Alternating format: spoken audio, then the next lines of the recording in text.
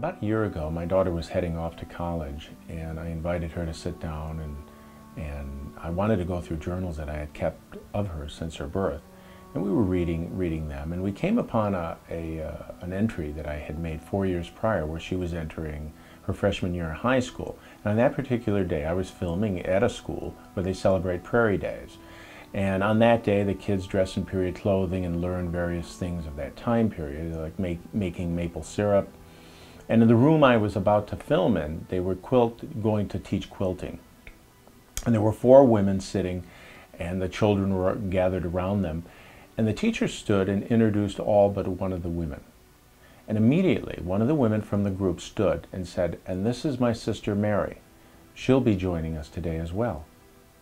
She sat back down and they continued to teach the, uh, the quilting class. Uh, when I left that day, I had had their names and I made the entry into my journal and uh, with an asterisk uh, that they were sisters, that Kathy was the sister to Mary and she stood in her defense to introduce Mary. Uh, and Mary wasn't going to stand at that moment to introduce herself.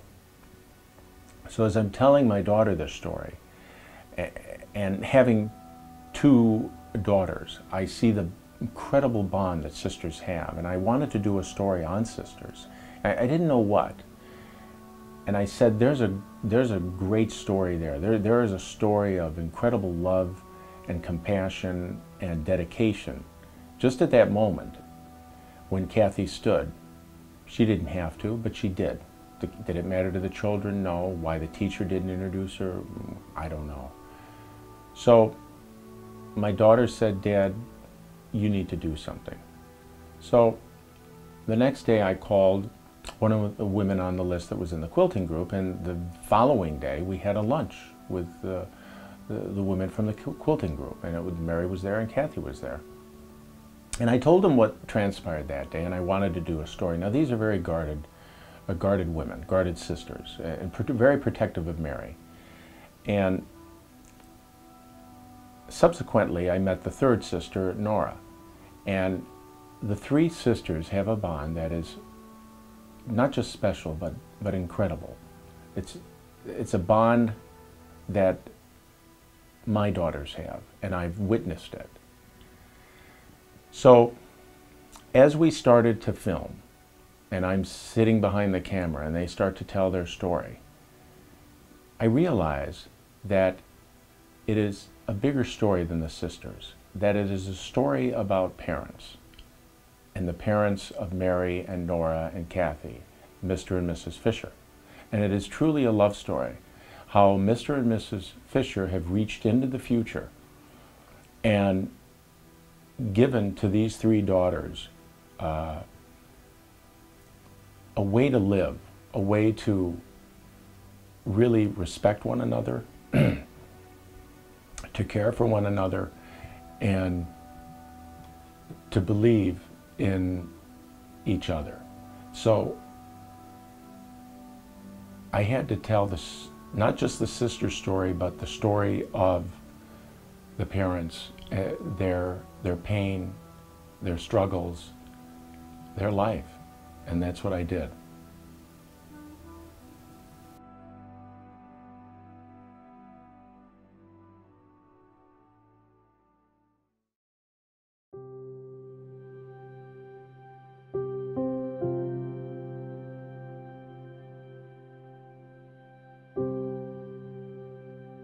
My mother said she didn't cry because she knew, and it was just a confirmation of what she knew. My father was crushed. He just broke down and just wept uncontrollably.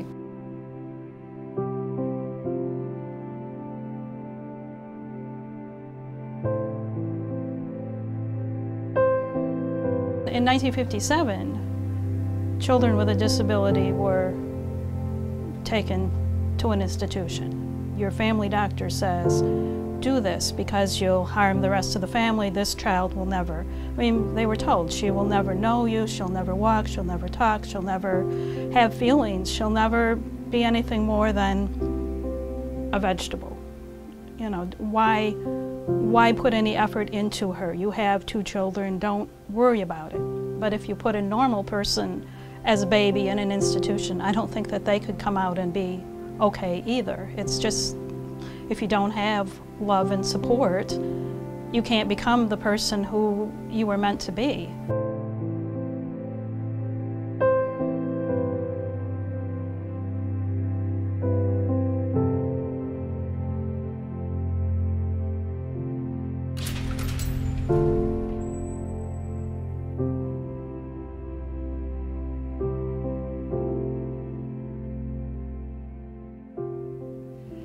Mary was born um, May 21st, 1957. I was nearly 10 years old. I don't really remember a whole lot except, you know, we were kind of like excited about a baby in the house, but I had my own agenda being outdoors, running wild. Um, the day my mother went into labor and she called my dad home from work, so father came home, took mother to the hospital. My sister Nora, who was four, and I went over to Aunt Ruth's to stay. While she was in the hospital, I stayed next door with at my aunt and uncle's house. I was kind of troublesome because I wouldn't stay there at night, so my dad would have to come over and um, bring me home for dinner and have me sleep at home. But then in the morning, I go back to their house because at that time mothers were in the hospital for two weeks when they had their children. And so my cousin Sandy came over in the evening because dad had called their house to say that the baby had been born. Her pregnancy was absolutely normal, no problems. The delivery was absolutely normal. And um, the doctor said she's a fine, healthy little girl. They never said anything. The nurses never said anything. Devastated when they found out. I know my dad was. My mom said she knew immediately after Mary was born that there was a problem. She just didn't know what it was. And my dad kept out hope that everything was perfect because it would be. His other two children were, so why wouldn't Mary be? She knew that they knew because you were in the hospital for a couple of weeks, but Mary was always the one that they fussed over the most. They put her hair in a little barrette. They had the cutest blanket on her. Um, you know, and my mother said her muscle tone was different than that of other newborn babies. My mother said she she's quite sure that her doctor knew but felt bad and didn't know how to tell her. And so they kept going to other doctors to get a diagnosis. And her doctor, never did he give any indication of what was wrong. In fact, he almost led her to believe it probably was a muscle problem, perhaps a spinal problem. My father would go like, no, don't say anything's wrong with her. We're going to take care of it. Um, did my parents express fears for Mary's future? Yes.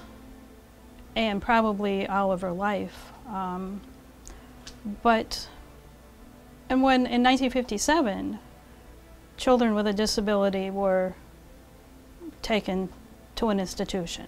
Your family doctor says, do this because you'll harm the rest of the family. This child will never. I mean, they were told she will never know you, she'll never walk, she'll never talk, she'll never have feelings, she'll never be anything more than a vegetable.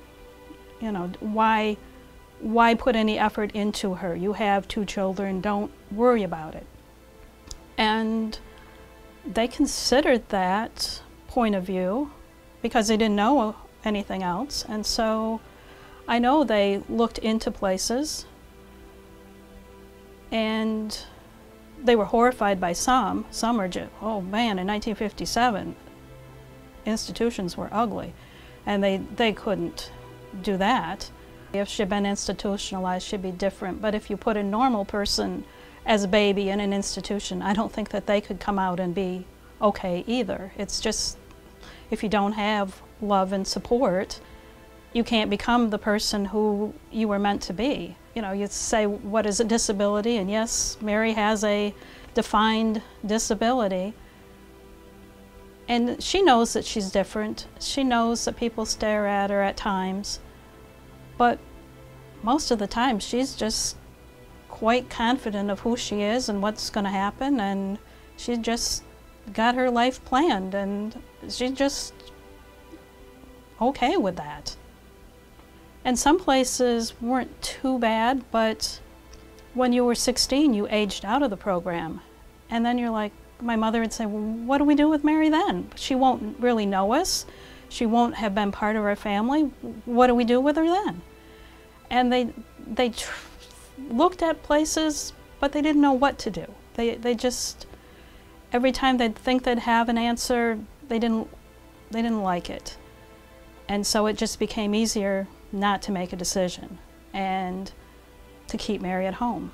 And that just became what it was. Mary was at home because we would love her and protect her and she'd be safe.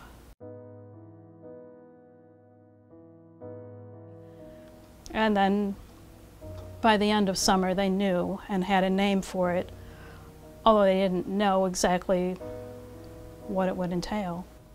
So my parents went into Madison, Wisconsin to the university hospitals and were told immediately what was wrong with her. My mother said she didn't cry because she knew and it was just a confirmation of what she knew. My father was crushed. He just broke down and just wept uncontrollably because he wanted to take care of everything. He wanted to make everything right and this was something he could not take care of. Um, my mother said she knew that as long as she had her husband, my dad, they could do anything together. My father would hold her and rock her and rock her and say, no, she's a fine little girl. Look at her. She is a beautiful little girl. There's nothing wrong with her. And he would just hold her all day and rock her and read to her and sing little songs to her. And she was a very cuddly, adorable little girl who we all adored.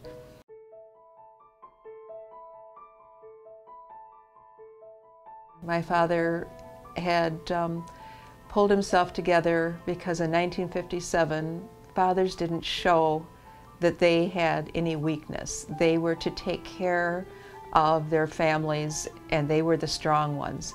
And that was something my father felt very deeply in his bones, that he was the caretaker and this was his responsibility. Um, he just did not know where to turn to or how they could do this. But my mother said, she's a baby. I can take care of a baby. Uh, we'll deal with whatever we have to deal with together as it comes up. Um, I do not, I remember them telling us that she would always need to be taken care of. My mother said that I cried at that time. I don't really recall that, but I do remember her saying that she has special needs. She'll never be uh, like your sister. She'll never be like your cousin. She's always going to need to have us take care of her.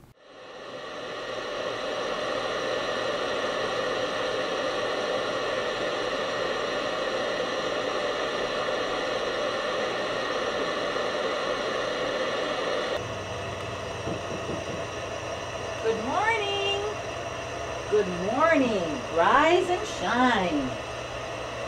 Hi, Mary. Did you sleep good last night? Mary has sleep apnea and uses a CPAP machine to help her get quality sleep. There. Oh, that feels good, doesn't it? What you gonna do today? Today I'm gonna be with Kathy. And I have to keep telling myself it's Mary's life, and it's not a sad life. You look at Mary and she's full of joy, she's full of life, she's full of energy. She's always talking about all the friends in her life and who she's mad at. Good.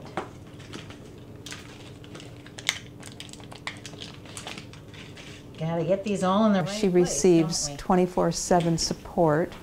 She's at work Monday through Friday from about 9 to 3.30. And other than that, when she's at home, she has somebody with her. Uh, The reason for that is not that she would do anything destructive, but she would not know how to take care of herself if an emergency arose.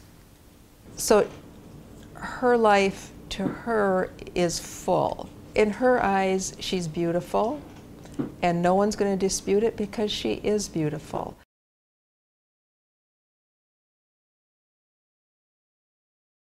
Now, Tuesday's a very special day for Mary because she has a job in the community. It's um, fairly difficult for the sheltered workshop to find outside employment for their people.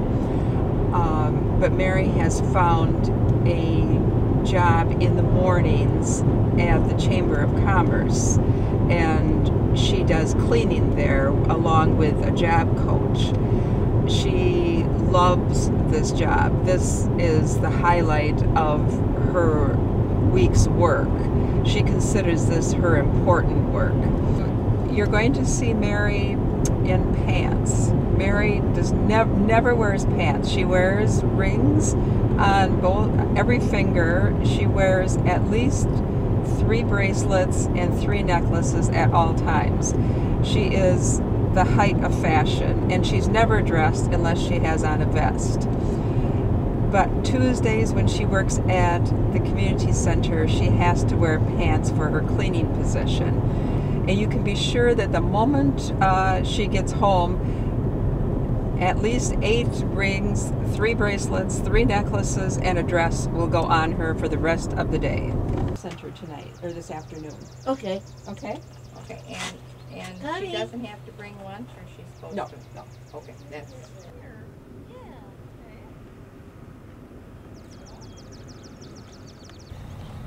What are you going to do at the depot? Work for Myra. Work with Myra? Do you know what you're working on? Yeah. What do you do? Um, take the papers out. Take the papers out? Yeah. Uh huh. And stuff. And where do in you the put the basket- papers? In the basket. Oh, okay. Into the And- trash in the- basket? yeah, trash basket. Mm-hmm.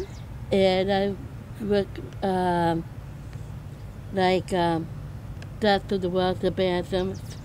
Uh huh. And then I can dust. Where do, what do you dust? Anyway, lots of, Oh, there's lots of things that need dusting. yeah. And clean Okay. the sink. And cleans the sink out? Okay. Yeah. Okay. And scrub the floor. Oh, yeah. Gotta scrub the floor. So when you leave, is it nice and clean? Yeah. Does it smell good when you leave? Yeah. Good.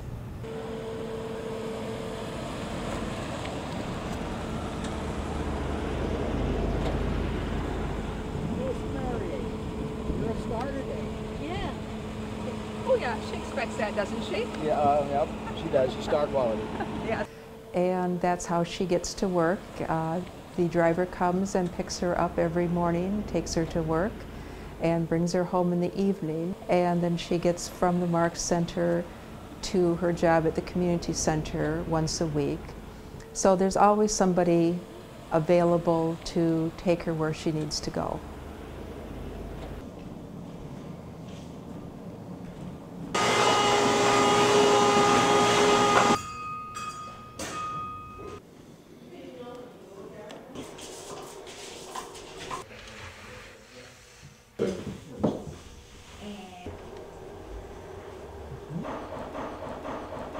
We're going over to meet Mary at the Mark Center where she works. Um, the Mark Center is a Madison Area Rehabilitation Center. They um, look for work for the developmentally and physically disabled, uh, collating, putting things together. They go out to the community and look for jobs that they can bring into the Mark Center to do. So there's different things at different times. Um, I'm not sure what Mary's doing at the present time, but she does a lot of collating, uh, like flyers, putting pieces together, putting the tops on medicine cabinet or medicine medicine jars. Open it up, find the staples, is that right? Find the staples, and then you know you're in the right place? Yeah. Okay, and then this one goes first, and then the envelope on top. Remember. And then you can just set your done ones over here, okay? And you'll be all set.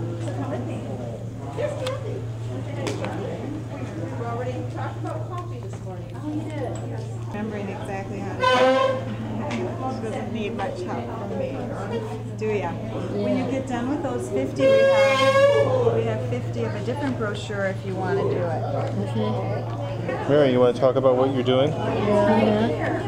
What are you doing? Um, so with the papers, How is it going? good. And even out. Get them all organized, right? Yeah.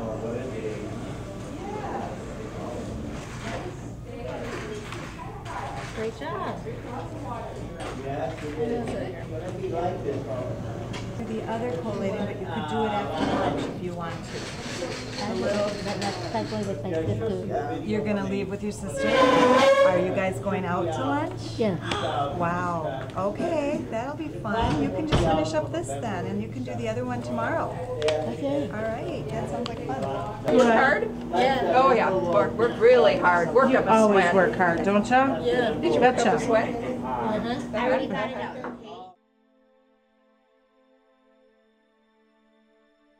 What do you remember about Dad? Dad was very handsome, He was very handsome. and I love him. He's a wonderful dad. He was a good person. And what did he do with you? We played You played? Did he teach you to dance? the dance. What TV show did you watch and dance? Do you remember? He would be around. He, he whirled you around? Mm. What TV show were we watching where we danced? Northwell Lawrence Welk. Every Saturday night? every Saturday night. What would we do on Saturday night? Do you remember? I like the polka, You liked to polka with Dad yeah, and waltzes, and do waltzes with Dad? yeah. And did Dad teach you to play some games? We play games, Do you remember what he built for you in the basement? jumping, A, a jumping, yep, a trampoline for jumping a hula hoop. and a hula hoop. Mm-hmm. Times when we're out together, like at the zoo or at a store, and you'll say to me, How come he's staring at me? Yeah, How, did, how does that make you feel when people look at you? I feel sad. You feel sad? Do you think they're looking at you because they don't like you? Or why do you think they're staring at you? You like to feel Connie. They like to stare at Connie too, your roommate? Yeah, And why do you think that is? I don't know. But it makes you feel sad? I love Connie a lot. You, you don't think they're people that like you? I don't think so. You don't think they like you? Do you think they're afraid of you? I'm afraid. You're afraid, huh? Do you think they're going to say something mean to you? Sometimes.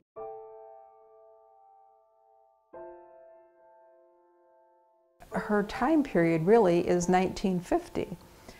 And sometimes when I think about that, I think, well, you know, it's maybe some of it is because she is our mother's clone. She thinks like our mother. She has the same mannerisms. She'll look at me when she's mad at me the same way our mother looked at me when she was mad at me. And uh, she kind of, and she loved our mother absolutely, totally. It, it was just a mutual devotion. And as she was growing up, mother would be watching the um, 1950s, uh, 60s romantic comedy musicals, and I hated musicals, and my sister hated musicals. After all, we were children of the rock era. We were not going to be watching that. And so Mary was uh, watching that mo- those movies with my mother and learning those songs, and they would sing the songs all the time. And we have a repertoire of CDs that I have to keep in my car at all times. Different moods uh, create different songs, and she'll look through the CDs every time we're in the car and chooses the CD that fits the moment. But always at the end of the evening, when it's nearly, she, she has a point in town where she'll say, now, it's time. And that means that we have to cut to Andy Williams' May Your Day, May Each Day. And we sing that song until we hit her driveway and we finish the song in her driveway and that's the end of our day. And it's an absolutely perfect song to end the day with somebody you care for.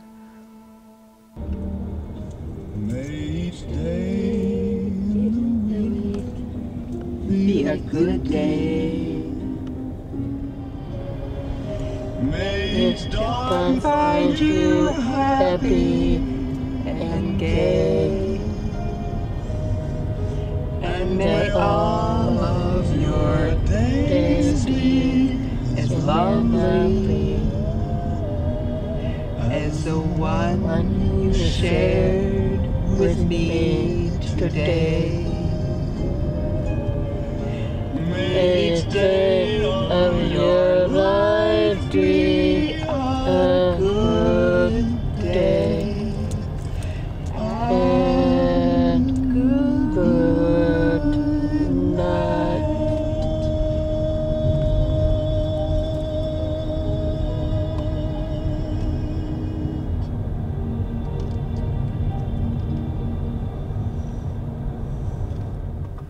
Mary, I was thinking that for the longest time, well, Mary was always my sister, but I think in my mind she was really my parents' daughter because they protected her so much and they didn't want us to feel like we had to be responsible for her. And so she just kind of became this person with my parents. It was mom and dad and Mary, always mom and dad and Mary. So we didn't really once especially we left home, Mary just became this, they were this threesome.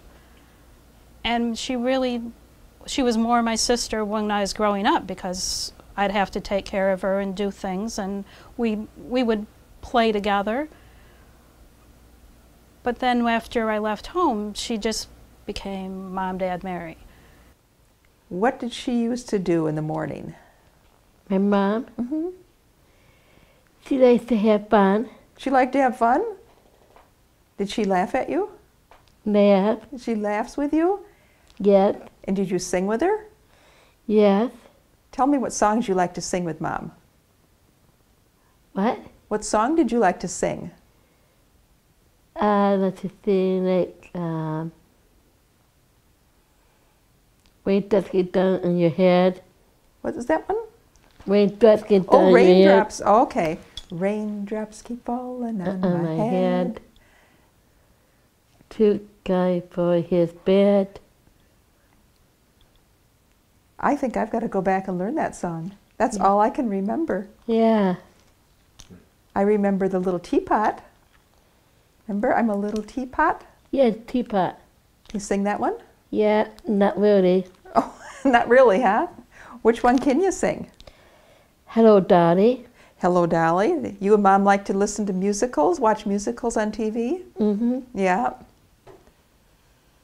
Like, hello, Dolly. Well, hello, Hello, Dolly. Daddy. It's, It's so, so nice will you be back where you be brown.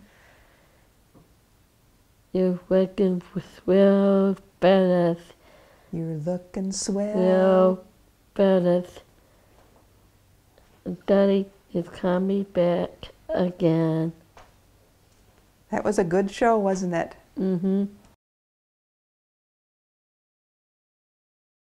What what videos you like? I like Wicked Dude. Brigadoon. Uh huh. Good one. Musical. Yeah. What else you like there? Um. That one's there, the Forrest Gump one. You saw yeah. that? Forrest Gump. Yeah. That was that good? Oh yeah. What did you like about Forrest Gump? This is a good soul. He is a good soul, isn't he? Uh huh. I really love that. Uh, what other musicals do you like? Um, like this is what his friend is there. You, oh, Fred Astaire. Do you, his, do you do you have any on Gene Kelly? Yeah, Gene Kelly. You do? Okay. So and then the the fam- Family band. family band is that a good one? Yeah. Yeah. And Doris Day with Guts. Doris Day and Rock Hudson Pillow Talk. Pillow Talk, yeah. Yeah, that's a funny movie, isn't it? Yeah. Yeah. And that's Doris Day too. Yeah, she's good, isn't she? Yeah, with the kids. Oh yeah. And that's Rick. Shrek, funny. That's funny, isn't it? Yeah. Yeah. And Everett Presley. Now, what do you like about Elvis? Uh, he's my favorite. You like his voice? I like his voice. He is a good singer. Do you have a favorite Elvis song? Yeah, I know them tonight. Oh yeah. Are you alone? Do you know some of the the words to it? Yeah. Can you sing a little of it? Are you lonesome tonight? Do you miss me, Me tonight? Yeah. That's a good one. Mm -hmm. Yeah, I like that one too. Do you have a uh, a system, Mary, that you wear your uh, your necklaces? I mean, how do you choose what you're going to wear? Like today, Like today, this one right here. today you wore that, and because you're wearing pink, or Yeah. would you have wore anything else with that? Oh yeah. What uh, now? How do you choose your? Uh, do you like the longer necklaces or the or the shorter necklaces? Um, short necklace and long necklace. Right here. There's the shorter and longer ones. Okay. Yeah. They're pretty. They are pretty, aren't they? Do you have any more than that? Well, I went on the boat trip What's that one? on my vacation, Oh, okay, that's nice. and Terry gave me that for Terry did? yeah, Okay. and this one too. Oh, very nice. Where do you keep your rings? Uh, in there, In here? over here. You want to open that and we'll just take a look, see what you got in there? If I open it, like this. Now that is your uh, your princess hat. Yeah, Terry, London County Fair. Oh, at the county fair? Yeah. Okay. Right. Now you have uh, every every time I see you, you have one of these wonderful vests on. Thank Can you show me more of them? Sure. How many do you think you have here? One, You have quite a few. three, four, five, six, seven, eight, nine, ten, eleven, twelve.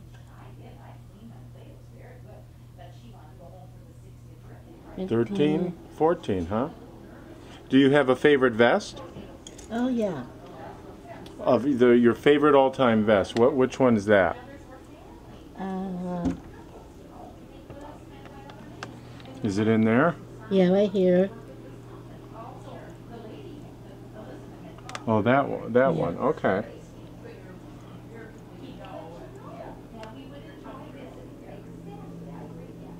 Now, what is it about vests that you like? Why, why do you like wearing vests so much? Cause I like Beth. You like them. Uh huh. Do they? Do you have pockets in the vest? Oh yeah. What do you, do you keep anything in there or? Um. Yeah. In the closet.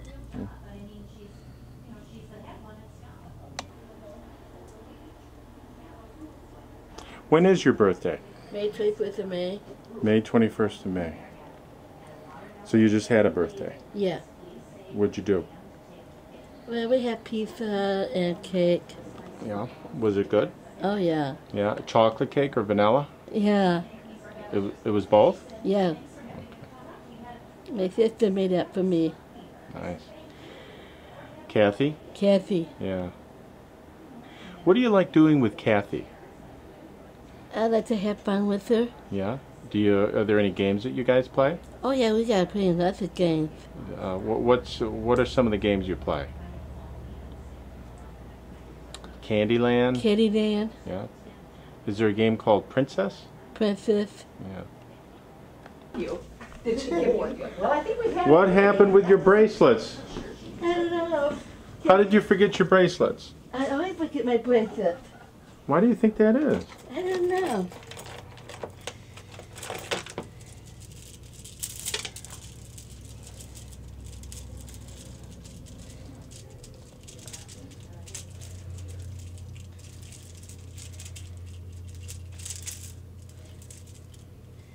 There you go.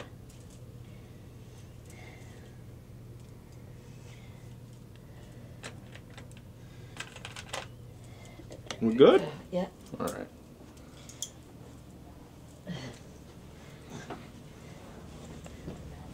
Okay. Hugs for Joanne? Yes. Well, bye, Mary. You have a good day. Take care, you guys. We will, and you have a good day too, I Joanne. will. See you in two weeks, or I see you next weekend. Next weekend? Yeah, Okay. that's my real weekend. Okay, that's good. Of course, everyone thinks of sex when they think of love, which is to most people a very important component to um, a two person love. Um, my parents' expectation for Mary and love was something that horrified them. They were so fearful that she would be taken advantage of. They were so fearful when she started menstruating and becoming able to have children. And there came a point in Mary's life when she was living with them when I believe those hormonal urges were coming to the surface. Um, she wanted to leave home. She wanted to explore life. She wanted to have a family. She wanted to have a baby. They had no place to turn. They had only themselves to turn to to make decisions for Mary's life. And as you can well imagine, they had no clue what to do with this other than to be terrified and to watch her even more carefully. Uh, I'm sure that Mary probably feels some sadness about it because she would see, you know, Kathy get married, I got married, cousins got married. I mean, that's what you did. And she knew that that's what you did, and she would want that for herself too. But we kind of dismiss her with, well, you have to take care of mom and dad. And so, you know, there was always someone in the family grouping that had never gotten married and would stay in with their parents and she kind of accepted that rationale that yeah mom and dad needed her so she would she would sacrifice her own life to take care of them. So that's how it pretty much went she knew. But i think she's had crushes over the years on different people. And i know you know I've kind of dissuaded her with, oh, Mary, you don't want to get married. You know, having to take care of a house, it's a lot of work.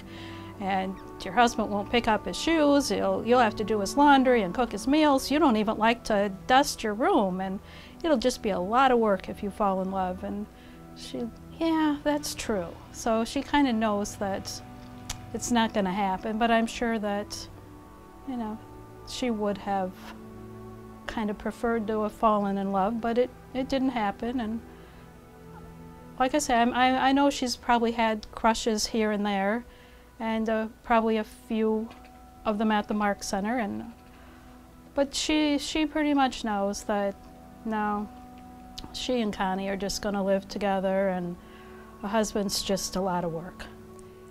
Mary loves babies and would have always loved to have a baby. I would tease her and say, You know, you've got to change diapers. And she's like, I would do that. I would do that. When she was probably in her mid 40s, uh, she had fibroid tumors resulting in a hysterectomy. Somehow, when she had that hysterectomy, no one said a word, but she somehow knew this meant she couldn't have children. And she said, Now I can never have babies. And I said, That's right. Now that she's living in a residential group, now she lives in a uh, duplex with a caretaker and a roommate, but there's about, oh, 30 or 40 people in town that are under the same uh, housing help group. So they get together frequently for dances, they get together for parties, they get together for picnics. So she does have this group of friends outside of work. You know, you sort of think you can only look at things through your own eyes. And so you become saddened. But when I look at Mary's eyes, she's happy. No, Mary has uh, kind of given us a, a, new way to look at life. She um, has brought in people that we never would have met otherwise, people that give of themselves. And I, if it wasn't part of my family, I wouldn't be involved with it. And yet these people are, and they're really caring and thoughtful, and they, they just give of themselves. And it, it's been really an amazing journey, I think, for all of us to see that there's so many nice people in the world, and we might not have met them without Mary.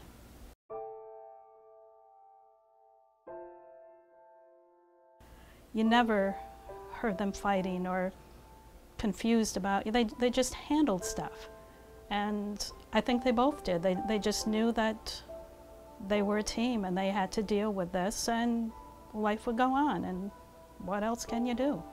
So one of the things that my mother did partly because of her love of children and partly because she thought it was for Mary's benefit was to take in foster children. So we always had two, three, four extra girls in our home, and they would live with us for several years because of some trauma that was going on in their own family lives.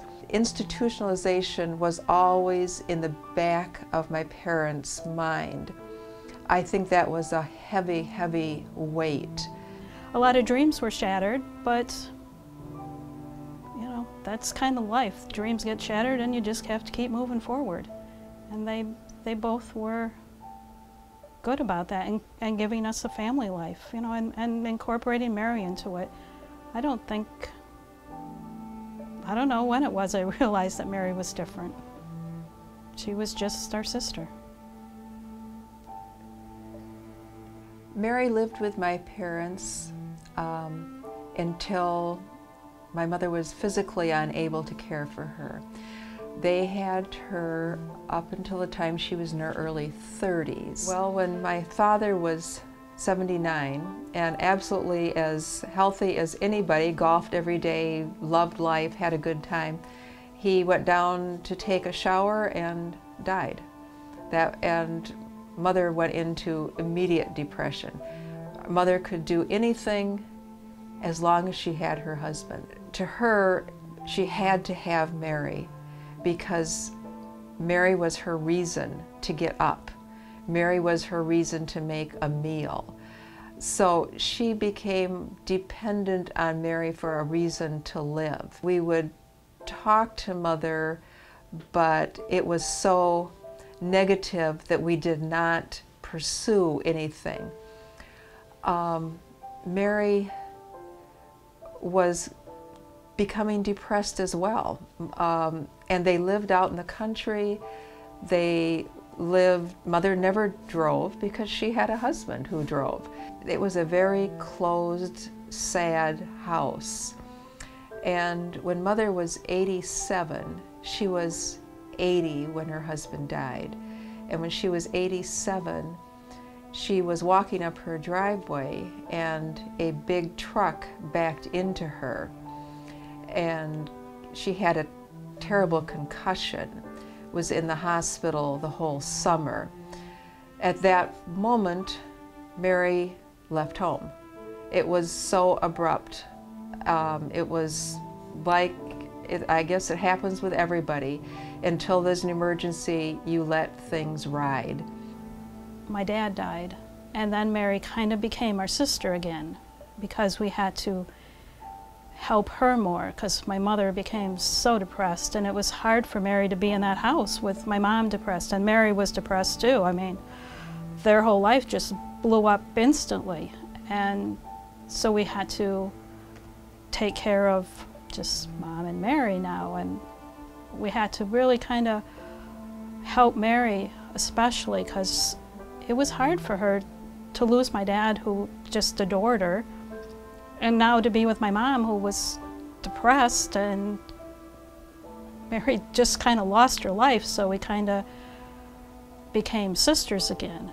And then after my mom's accident then Mary totally became our sister. She was part of the three of us.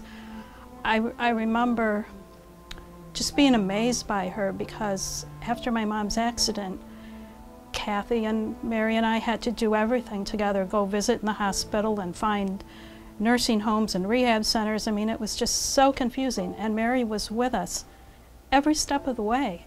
And I couldn't believe how she could accept it and, and just move forward with us. And her whole life blew up. I mean, she didn't have a, a home anymore. My mom was in the hospital. She couldn't live in the home by herself.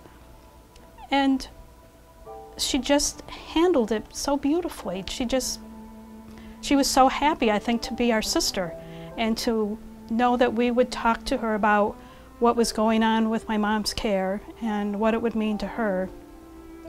And she lived with me for, I'm not, I don't remember, maybe six weeks or something, and she loved it. And, you know, we had to keep reminding her that it wasn't permanent because both Kathy and I were afraid that we would fall into the same trap that my parents had of not making a decision.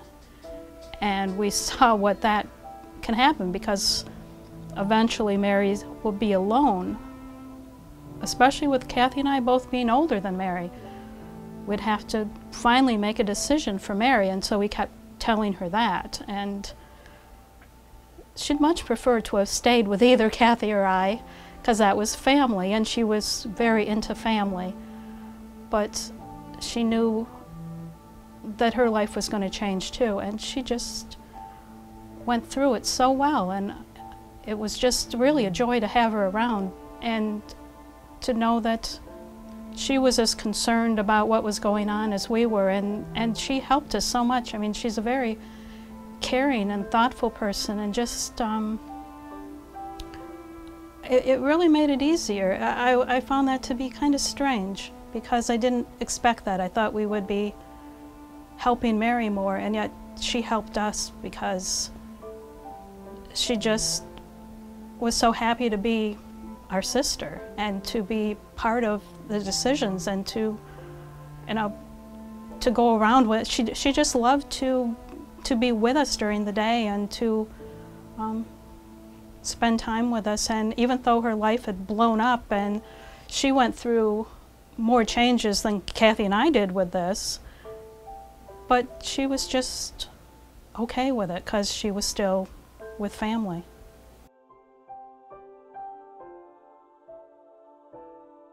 I really don't want her to have to go through my death. Even though I'm 10 years older than Mary, I've been so blessed with good health and she is somewhat healthy, but she has um, physical problems. And so I think it's a legitimate hope that I outlive her. Um, I know that her physical well being will be taken care of, but I don't think her mental well being, her happiness, she would be crushed if I were to go first. She would not know where to turn to. She, of course, would turn to Nora, and Nora would be there for her, but they have a different relationship than Mary and I do. Much of it is because Nora is not as close physically. Um, would I like to see Mary pass before Kathy or I? Yeah, but then that's what my parents wanted too. That's what they hoped for. And just because nobody would love her and care about her as much as we do. And I, I suppose she would survive because what choice do you have? And she's surprised me over the years. But yeah, would we would like to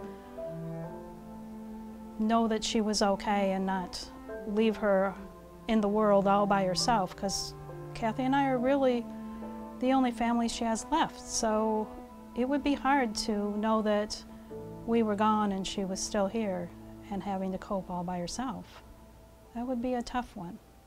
Well, our mother lived in assisted living after her accident for about seven years.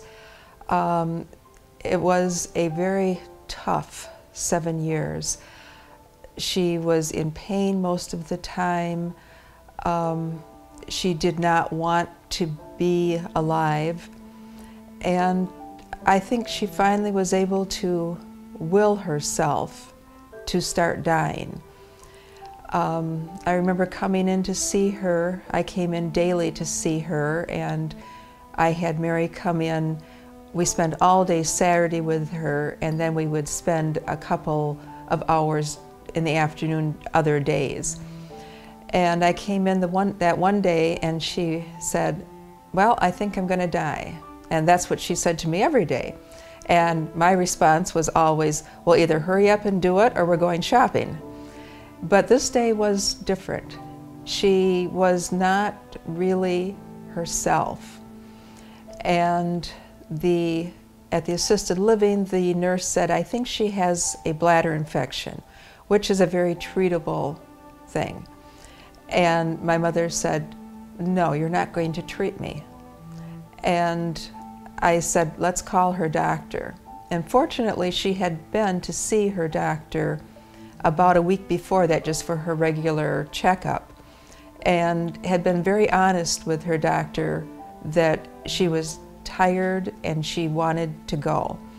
So when the nurse called the doctor, the doctor said, we're calling in hospice, we're not giving her any medication. Um, so at that point, hospice came in and everything changed within an hour. And it was a wonderful, hospice is, as everybody knows, incredible. They made things so wonderful. They included the family in everything. But mother went down very quickly to somewhat comatose, coming in and out. Um, we would be with her and she would come out for an hour at a time. This was towards about the 15th of May, I think. And Mary's birthday is the 21st of May. And when she would come out, she would say, What's the date? What's the date? And I would always tell her whatever the date was. And now I realize that she did not want to die on Mary's birthday. And she hung on and she hung on, and we had the priest come in to give her the sacrament. And he said, You have done everything you can, you've led a good life, feel free to go now. Um, Nora came in and said, Everything's going to be okay. Don't worry about anything. I said it many times. Um, other relatives, friends came in to say goodbye as she was would come out, but she would keep saying, "What's the date? What's the date?"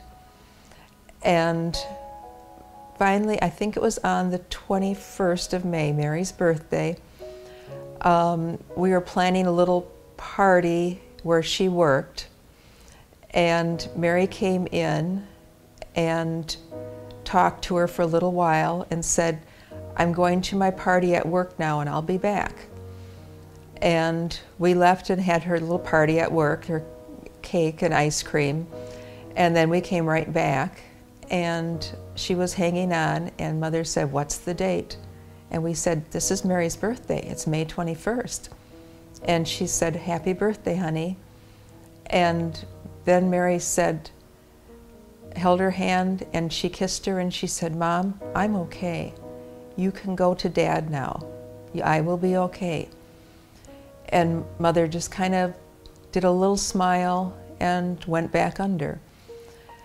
The next day, May 22nd, I told, which was a Sunday, I told mother we were having a little party. No, I think it was a Saturday. I'm sorry, it was a Saturday.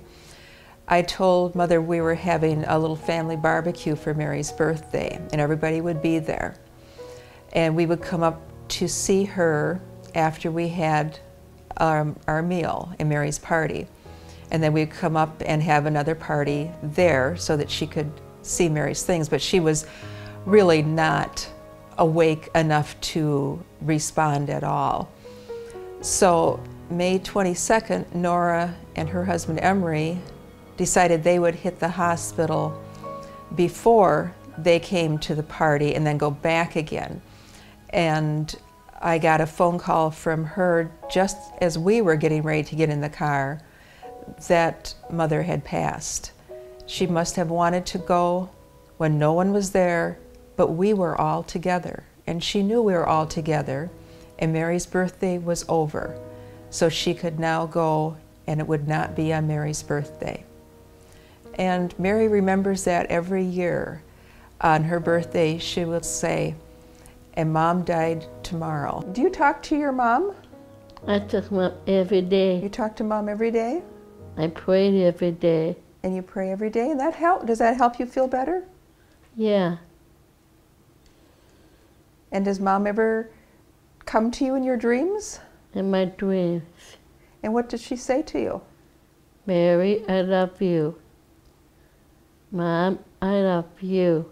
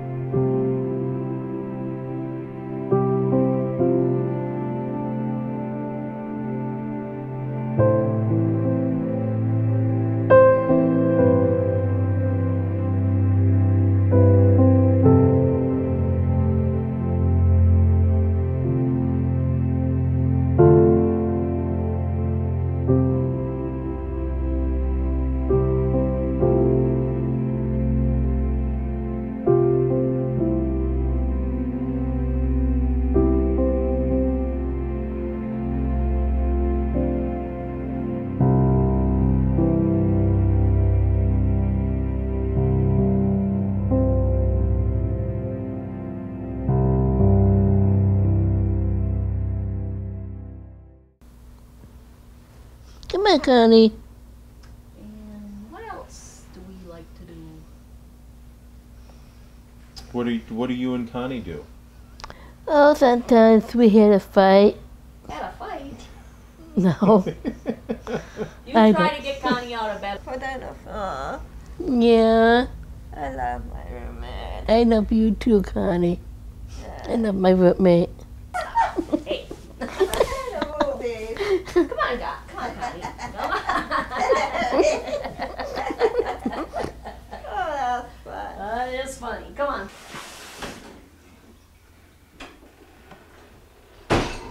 Me. Good too. Love the colors today. Thank you. So what'd you have for breakfast? Egg and toast and tea. Sounds like a good one. Mm-hmm. Now, how long have you guys been roommates? About two years. No, it's been a lot longer than that. But it seems like two because it's such a good relationship, right? Yeah.